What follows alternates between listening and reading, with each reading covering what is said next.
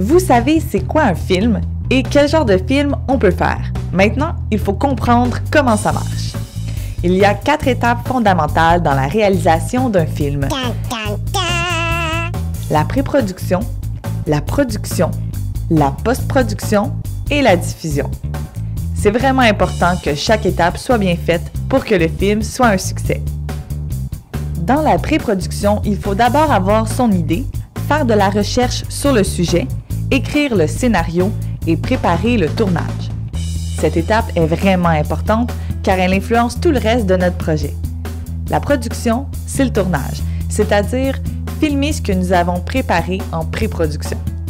Ensuite, la post-production, c'est de visionner toutes les images, sélectionner les meilleures et faire le montage de celles-ci.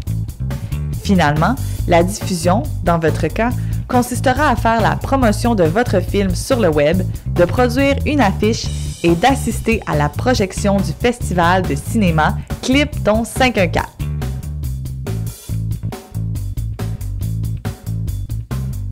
Pour faire un film, il doit y avoir toute une équipe et c'est important de comprendre le rôle de chacun. Le producteur est celui qui finance le film. Dans votre cas, c'est la Cré de Montréal, Fusion Jeunesse et ou votre école. Le producteur peut aussi participer sur le plan artistique.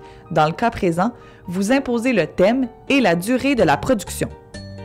Le ou les scénaristes sont en charge d'écrire l'histoire, le décor, le contexte, les dialogues et bien plus. Ils doivent avoir le souci du détail. Le réalisateur dirige le tournage du film. C'est lui qui donne les indications aux acteurs et aux caméramans pour s'assurer que le film soit comme les scénaristes l'ont imaginé. L'assistant à la réalisation est une personne indispensable sur le plateau. Il prend en charge l'horaire de tournage, s'assure du bien-être de tous les membres de l'équipe et s'assure de la présence de tous. C'est lui qui veille au bon fonctionnement du tournage.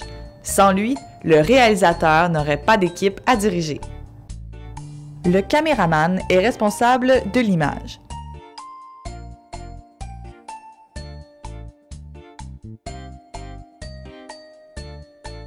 Le preneur de son, comme son nom l'indique, s'occupe de la captation sonore.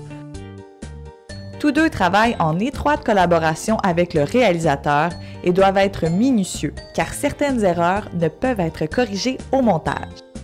Le script est en charge de la continuité, sur le plateau, il prend souvent des photos pour s'assurer qu'il n'y ait pas d'erreur dans le film. Cette personne doit avoir un bon sens de l'observation pour que ça ne donne pas ceci.